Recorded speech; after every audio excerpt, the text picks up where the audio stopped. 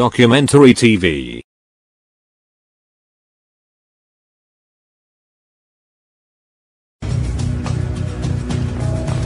These are the prisoners who are despised by the other inmates.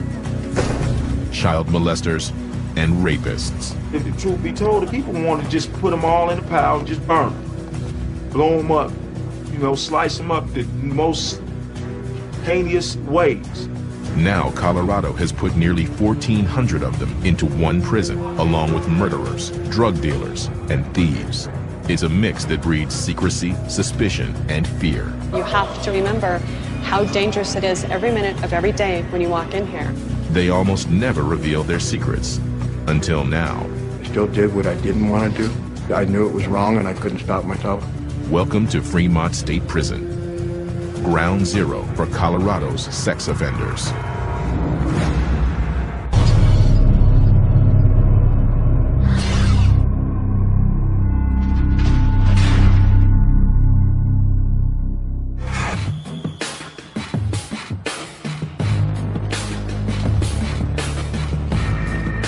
Fremont Correctional Facility in Colorado. With nearly 1,600 inmates, it's one of the largest in the state.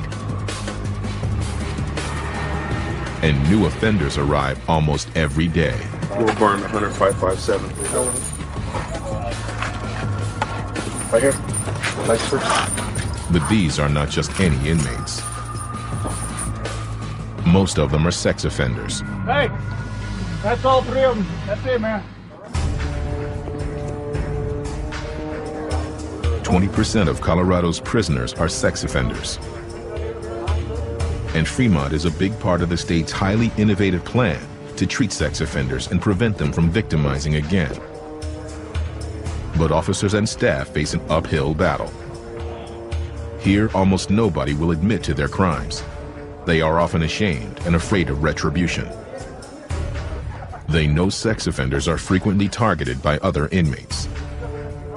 And in Fremont, there are hundreds of other criminals who hate being locked up with sex offenders.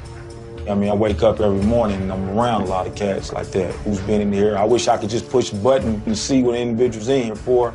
That way, you know, I can you can know who you messing with. You know, I just man, it's just it's crazy.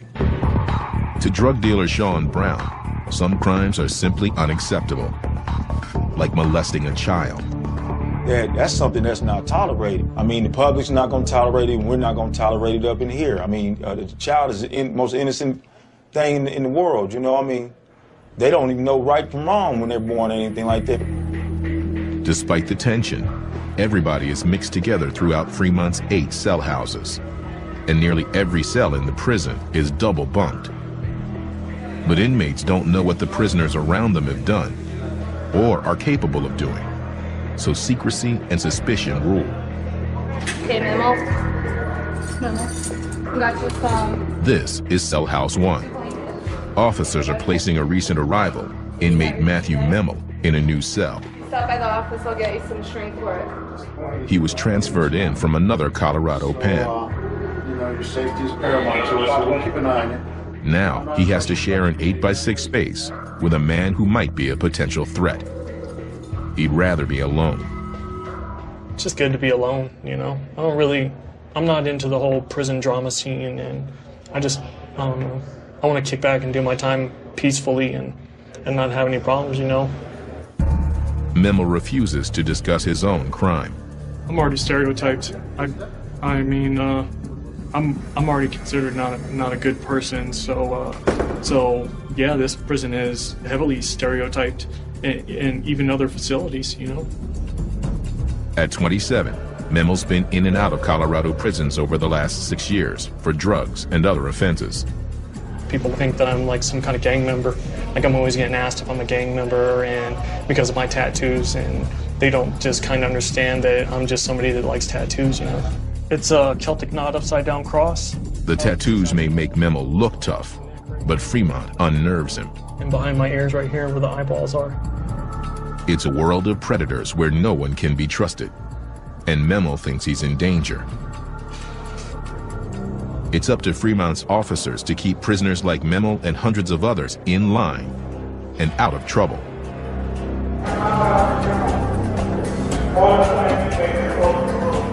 It's 345 in Cell House 8. With 247 inmates, it's one of the biggest of the eight blocks, and dozens of prisoners are returning from work detail. On. Officer McLean makes sure that everybody gets to their cells without taking any detours. All inmates can cause trouble, but sex offenders need special attention. They're masters at predation, and being behind bars doesn't stop them from targeting one another for personal gain. They're manipulators and they're all pleasers. Sex offenders are a lot more manipulative than other offenders can be. That's how most of the time they set up their crimes. They, they stalk somebody, that's manipulation. They follow a child and get a child to follow them off, that's manipulation. It's time for afternoon count, making sure every inmate is where they should be. Let's go, gentlemen.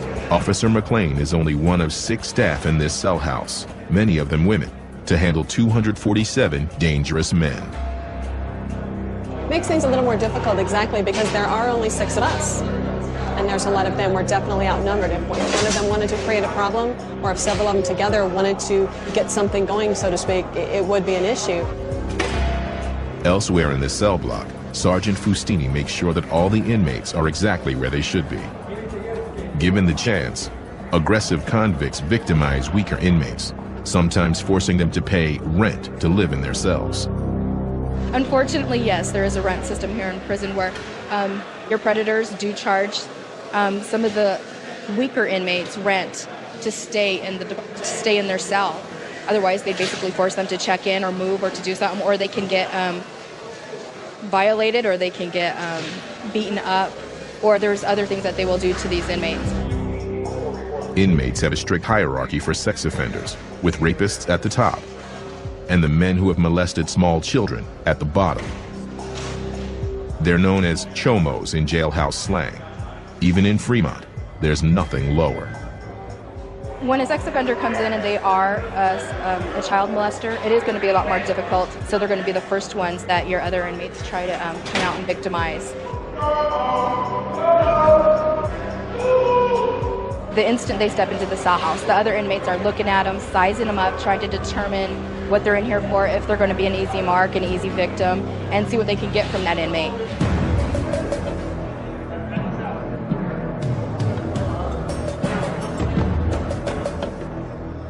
Yet one inmate on Fustini's cell block is unusually open about committing a sex crime. Inmate Mendoza pretty much stays to himself, even though he might not be the most muscular or the youngest or the biggest guy around. They know him, he's established himself. So if he stays to himself, stays out of the mix, and he doesn't cause trouble for other inmates, they'll pretty much leave him alone. I guess based on his therapy and just the way he handles himself and, and just the person that he is, he does seem to be pretty confident about himself. Inmate Randall Mendoza was convicted of sexual assault and received a 16-year sentence. The victim of Mendoza's sex crime was a 12-year-old girl. She was the daughter of the woman he lived with, who was seriously ill at the time. And over the next two and a half years or so, it really got bad. And during that time, her, my stepdaughter, her daughter, I kind of allowed her to become my partner as far as helping around the house because I was working seven days a week, 12 hours a day, and doing the cleaning and cooking. And, and during that time, I ended up sexually assaulting her. I knew it was wrong, um, but it's like I didn't want to do anything, but what made me dangerous at the time is I still did what I didn't want to do. Even I, mean, it, I knew it was wrong and I couldn't stop myself. I was just so full of you know anger and stress and pushed to the end, and I wasn't thinking. It was total. Uh, I, I was. I'm responsible for what I did because I allowed myself to get in that position. Mendoza only has one year left on his sentence, but he knows his crime will hang over him for the rest of his life. Sex offenders are singled out because they picked on the most innocent people there is. Their crime is the most heinous. My crime scene is. Even though I wasn't a two-year-old, but people look at that they look at the age of the victim. They look what actually happened, what type of contact there was. Uh, if you if you enjoyed it, or I mean, if you brag about it, how you walk about it. But for the most part, sex offenders, they just get off on victim, victimizing people that um, can't fight back. Mendoza says he's speaking out so people won't stereotype all sex offenders, but it puts him at risk. People in here really care about, they might be convicts or inmates or offenders, but they all have children. I'd be lying if I said I wasn't nervous about what I'm taking the time of telling you about, but I feel there's a, a reason for it for me to educate people.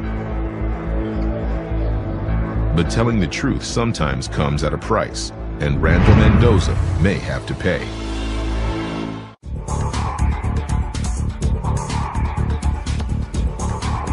Fremont Correctional Facility incarcerates nearly 1,400 sex offenders, along with a couple of hundred murderers, drug dealers, and thieves, all men.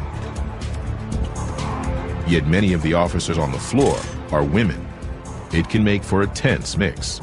Some of them just absolutely can't stand women. For them, we are the absolute bottom of the food chain. You're female, you aren't worth anything. Sex offenders are the ones that pretty much will prey on staff and other offenders alike. They have 24 7 to watch us. They have nothing else to do but find the chinks in our personalities, the chinks in our procedures, the chinks in our policies, and the chinks in how we do our security rounds. After 11 years on the job, Sergeant Fustini follows certain rules to stay safe. And now you're making up things. You're not even looking at me as you're telling those lies. She never gets friendly. Yeah, that's what I thought. Never reveals anything personal. And always keeps conversation to a minimum. Being a female in the department, you need to make sure and keep that professional distance at all times. We basically have that two sentence rule.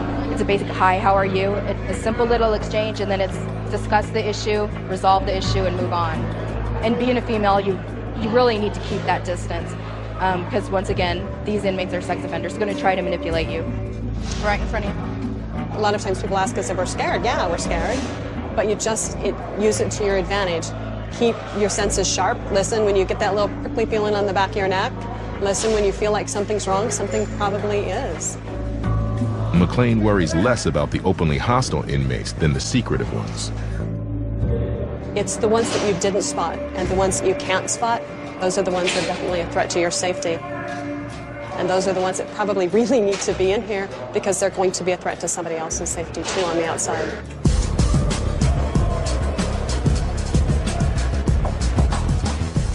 Ninety-five percent of these men will eventually be released. To keep the public safe, Colorado now requires treatment for nearly all sex offenders before they go free. It can last years. Treatment starts here in Fremont's Mental Health Building with a program called Phase 1. The goal is to get sex offenders to acknowledge their crimes and take the first steps toward changing their destructive behavior. Social worker and head therapist McGill leads a group of sex offenders through an intensive group therapy that lasts two hours a day, four days a week, for six months. Few outsiders ever get to hear these men talk openly about themselves for McGill and the other therapists. Today's goal is to help these rapists and child molesters understand how their actions hurt their victims. The therapists call it learning victim empathy. Your family members yourself, other people, the family members of the victim and everything, you now realize that, that impact now. I don't deal with emotional pain very well. And to know that I've caused somebody emotional pain, or let alone physical pain maybe, I can say, you know, I don't you know that that wasn't good. I don't i don't want to do that again. So i make the necessary steps to where that doesn't happen anymore. By? By um, i have to distract myself. I do it on a regular basis. Therapist McGill wants these men to learn to take responsibility for their crimes. There's a lot of shame involved, a lot of secretness involved, and they, what you just saw in the group is a big change for them because they've led secret lives. They, if anybody knew this, they wouldn't like me. So there's a lot of that stuff. So it's, it's, it's a process to get them to open up and talk. There's even more at stake for the inmates. They're at risk the moment they enter the prison's mental health building for their sessions. When you walk into mental health and do classes and walk out with a certain color folder, It's all up. Everything's right there in the open. They're immediately pegged as sex offenders and more. They may not like the crime and us for the crime we've committed, but in prison they, they tend to become even more aggressive towards you if they find that you lie to them. If a prisoner has lied about his crime, he's suddenly on the spot, in a place where lying is even worse than rape or molesting children. If you lie, yeah, you're going to have a lot of problem in here. The only thing you have in here is your word. And once you blow that, you're not good for anything. The tension between sex offenders and other prisoners never goes away. You can't have you walking around comfortable. You know, this is no different than any pen in, in the world. You know, you can get your boots smoked here too. Inmate Sean Brown resents how easy the child molesters, or chomos, have it at Fremont, unlike at other pens. I'm telling you, when I first got here, and one of them even talked to me, I snapped, and that was in the chow hall. I really had an inside rage, a war with myself to try to, and everybody's telling me, hey, you know, they call me money, say, hey, money, you got to contain that rage inside you. Otherwise, man, you're not going to make it here. They're just happy to be alive, you know, because anywhere else they'd be dead. In many prisons, Chomos must live in protective custody, apart from other inmates, to prevent them from being attacked but at Fremont, they have safety in numbers. You know, if I was anywhere else, I wouldn't, I wouldn't be trying to make their time comfortable at all. I'd be trying to extort them, take money from them, bash them, you know, whatever.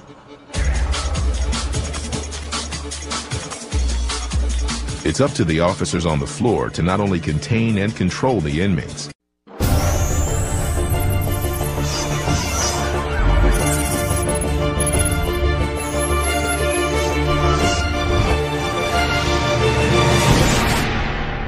Documentary TV. But to keep them safe from harm, regardless of their crimes. Like inmate Matthew Memel. Memel says he's received threats against his life. He wants to be in segregation, where he's safe from all the other prisoners. But the only way to get there is to break the rules, which he did last night by flooding his cell and everything around it. I flooded the tier and so they didn't give me a blanket that night and kind of left me in the water and I had to trudge around in the water pretty much all night in just my boxers with no mattress, no pillow, no blankets, no hygiene. Now, the officers have a bigger problem, keeping Memel from doing something even more destructive and dangerous in the days to come.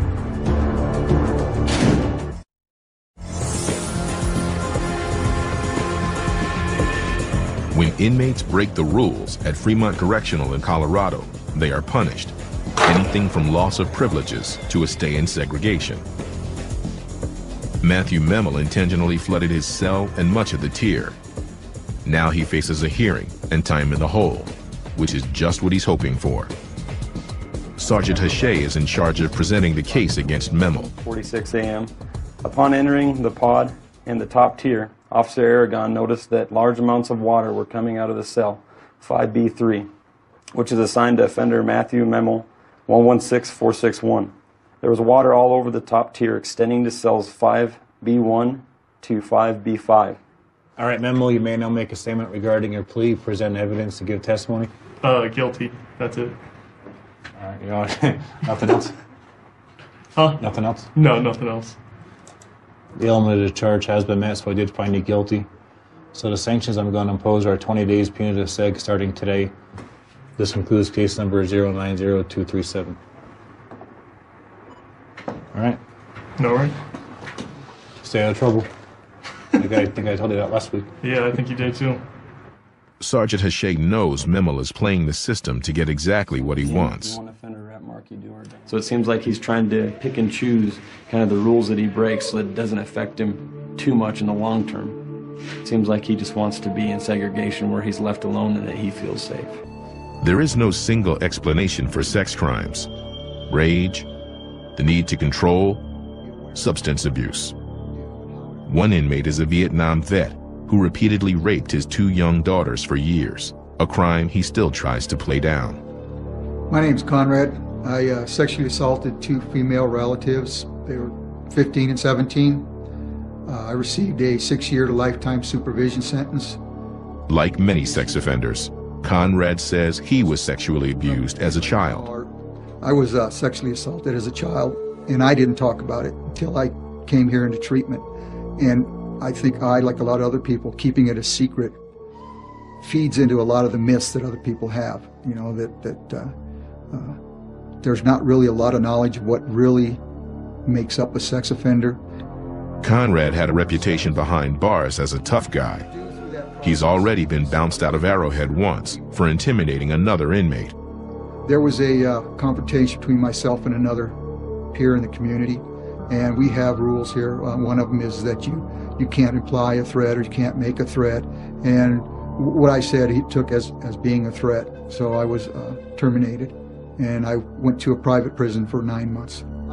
Conrad has kept his anger under control since he's been back, but the habit of victimizing is hard to break for good. Each and every one of you is, is an individual is an individual journey and a struggle, and so we. McCullough listens carefully to the next inmate. Don is a former suburban family man who had a successful career. Therapists have recommended him for parole. I chose to sexually exploit my 12 year old daughter in 2001, and besides my daughter being a victim, there were four other uh, children, all females, that by sexually exploiting her, I provided pornographic materials to her, and four of her friends saw those materials as well. I attempted to peep on them two additional times. Uh, I received a sentence of six to life, and I've been in the phase two program here for two and a half years. This was a totally different world here compared to phase one in that you're living your treatment round the clock. You're living in a therapeutic community where not only are peers going to hold you accountable for your behaviors, but you're also going to help hold other peers accountable for the behavior to work on the change. McCullough and the other therapists keep a careful and skeptical eye on these offenders. There's always a risk of getting conned by the cons. They are criminals and they are still, to some degree, carrying on the criminal lifestyle. That's why you want to enlist the whole facility because I only see them a limited part of the day, and what the officer would see might be different than that. For instance, we might have a guy who we think is doing great in the treatment community, and when he goes over and makes a phone call in, on the phone over there, in the hallway, he's yelling and screaming and cursing at his wife.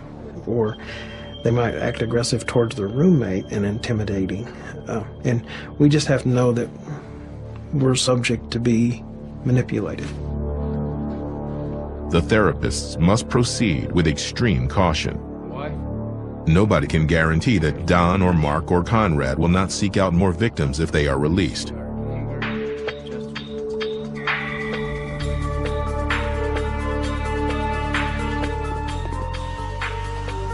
In the Fremont Furniture Shop, sex offender Randall Mendoza is nearing the end of his shift.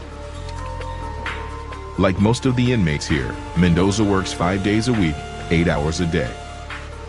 He's making desks and tables for state offices. Although they work together, Mendoza keeps a respectful distance from most of the other 95 inmates in the shop. He doesn't know what many of these guys are in for.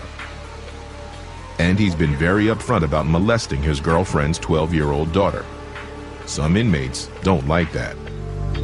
There is no comfort here. You're always aware what's going around you. You are in prison. This isn't a daycare center, even though sometimes it sounds like it with all the noise and the immaturity, there are people in here that will hurt you. You respect them, and they will respect you.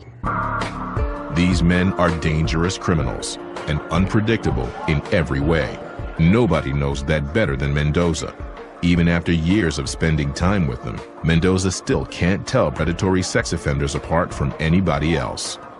You can't put a, a finger on anything because um, sex offenders are the most manipulative people you'll ever meet. But Mendoza says that sometimes there are telltale signs. They don't talk to the person. They talk to a certain part of the body. They always they're watching who's around them, who's watching them watch. Their movements, their actions are guarded, and uh, but every chance they get, they take a chance down here or that, and they'll really objectify, but they try and hide the objectification. These are predators who are particularly good at concealing themselves in prison and out. They put themselves in a situation they're around children.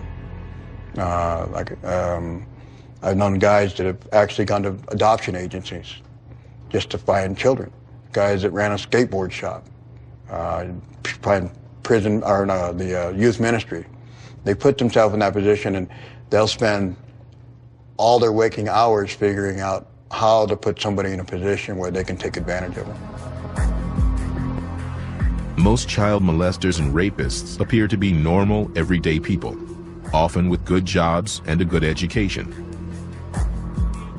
There are monsters out there. Oh, yeah. And there's more monsters on the street than there are in here.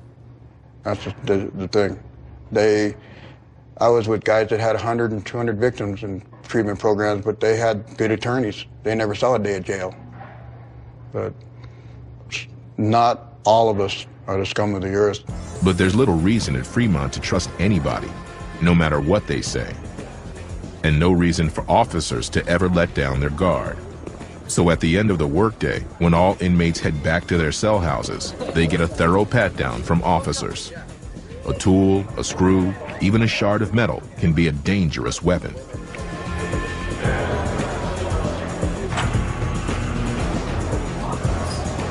To prevent violence at Fremont, officers like McLean conduct frequent raids on inmate cells. They're known as shakedowns. No, great. I'm gonna shake it down, ma'am. Gotcha. With another officer, McLean goes over a cell with a fine-tooth comb, looking for contraband and potential weapons, like razor blades. This actually is a pretty good little compartment for them to put stuff in. I found razor blades in there. They can get homemade cigarettes, drugs. That one looks clean. Inmates have 24 hours a day to find hiding places for contraband, so they become very skilled at it. Another place that they hide things in their clothing is they will open up the fly of their pants and put things there. Again, because they know sometimes female staff pat them down, or male staff may not check that area as thoroughly, they think. So, good place to hide things. You could hide something in this internet and never know it's there. So, moving it around, rotating it, feeling it, yeah, that one's good. There's nothing under it. They also tape things under the footlockers. Sometimes we use their mirrors to look under sinks and in places we can't put our hands rather than putting our hands. Good place to hide things. We can and have found weapons. Um, again, a weapon can be just a razor blade that's taken out of a disposable razor. They can put it into a handle of a plastic toothbrush, melt it in, and now you've got a really good knife. They do make knives. We do have a metal shop here. Once in a while, things get through that shouldn't.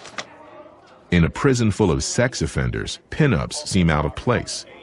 But inmates are allowed the pictures, within limits.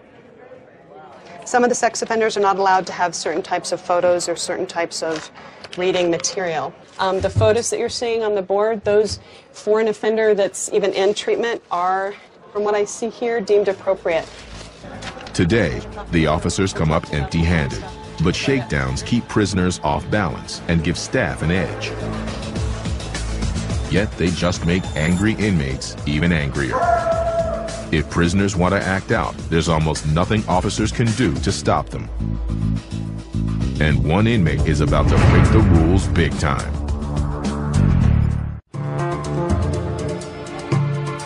It's an ordinary Tuesday at Fremont, Colorado's correctional facility for sex offenders. Everything is going smoothly, except for inmate Matthew Memel. Memel's being forcibly moved from segregation back to general population. It takes a team of six officers to do it. He's been in the hole for flooding his cell, and he didn't want to leave. Concerned that he might aggressively act out, one officer films Memel's transfer. I was kind of angry because I seen the cameras and they were videotaping me, and I thought that the facility was just kind of trying to show off, you know, and uh, blowing things out of proportion. You know, I I was willing to cuff up, and and when they told me that I was going back to population, I told them that I didn't want to go, and they said that you're going to go anyways. For now, Memel will have to adjust to general population and a new cellie. He's just biding his time, doing his drawing, planning his next move. It's a pencil stabbing through a, a girl's head with her eyeball falling out, and then there's some clouds over here kind of swirling, and I kind of just try to fill up space, I guess. You know, try to make it to where it's like a full picture. I don't know. Doesn't really have anything like significant to it though. I'm not like some uh, possessed killer or anything like that. But Memel is frightened and unpredictable. Sergeant Hache worries that Memel will continue to up the ante until someone gets hurt. And if he's, you know, really fearing for his life, he's really serious about it and thinks that something is really going to happen, it could lead to him doing something more serious, like going out and assaulting a staff member, possibly, to get in there where he feels safe.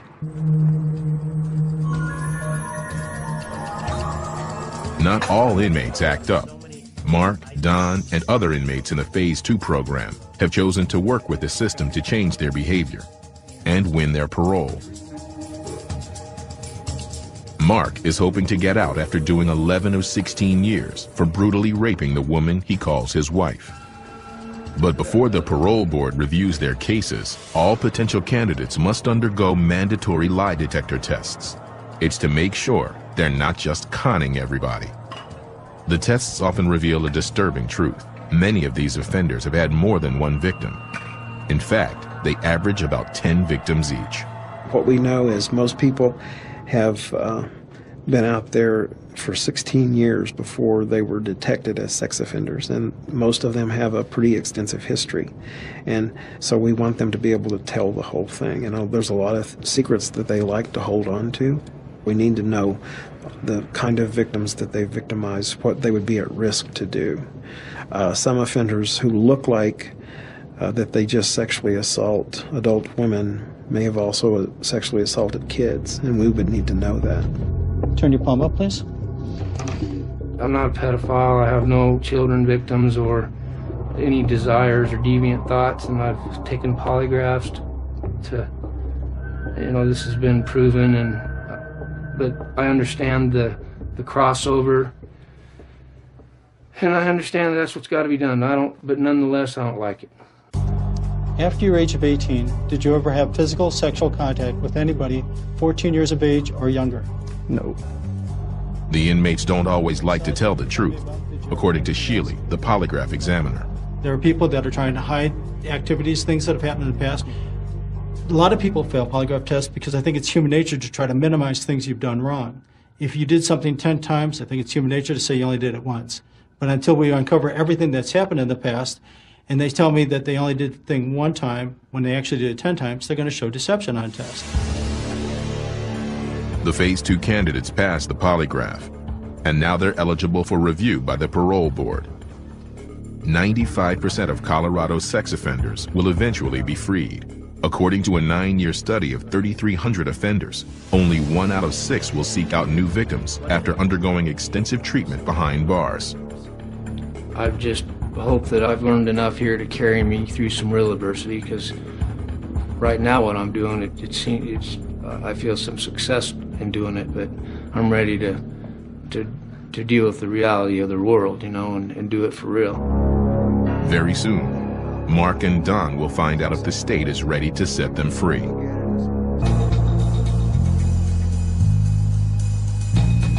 After only hours back in general population, Inmate Matthew Memel is desperate to get back to segregation where he feels safe. And he's going to use a razor blade to do it.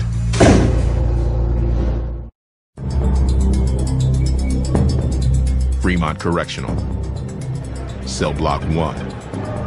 Just a few hours ago, inmate Matt Memel approached an officer, blood dripping from his wrists.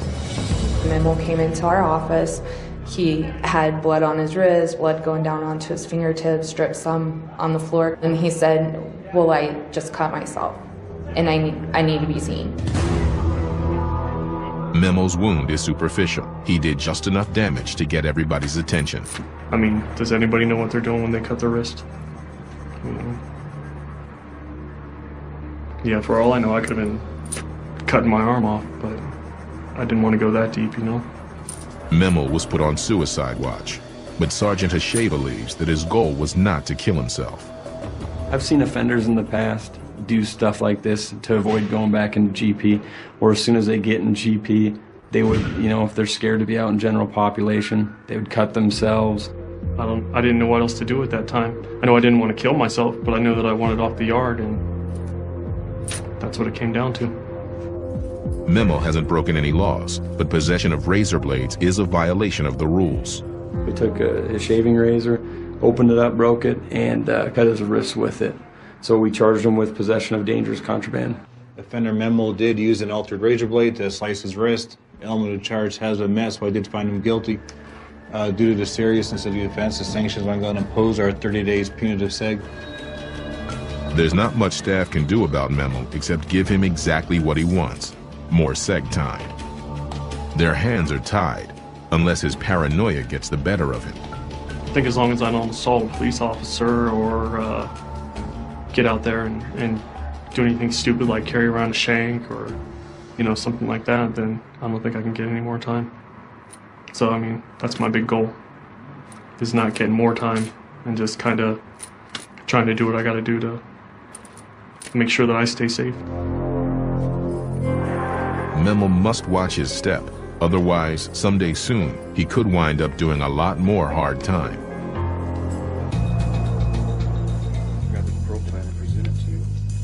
In the administration building nearby, David Michaud, head of the Colorado Parole Board, and his colleagues weigh the future of dozens of other offenders, including Phase 2 inmates who believe they are ready to leave prison bars behind. When we do parole hearings, the things I think we look for with sex offenders uh, are the therapy that they've received, most generally. So, from our point of view, we're looking for those offenders who have progressed to phase two and have done a really good job there, who uh, will get a recommendation, say, from the mental health uh, people who are conducting the therapy that recommend them for parole. But therapy is not the only factor. Addiction issues, the prospect of employment, and victim input all play a big part. After weighing the evidence about the Phase 2 inmates, the board makes their decision. The parole board is not convinced inmate Mark is ready. He's now been up for parole five times without success. I was recommended and I've been doing treatment successfully, but the impact of sexual assault on the, uh, uh, the crime in society is devastating, and um, I understand that there's probably some hard feelings out there, you know, and, but I'm doing all I can to change that. I mean, change myself. I just would like to be able to express to others that, uh, you know, I, we, we want to educate people about it so that others don't have to do go through what I've gone through or or victimize people, you know. Yet another phase two offender